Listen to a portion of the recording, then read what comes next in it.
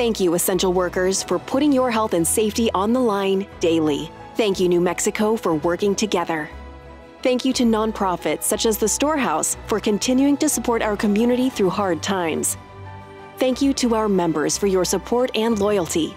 And thank you to our employees for hard work and dedication. Then, now, and always, we put our members and our community first. That's why Sandia Area is ranked as the top credit union in New Mexico.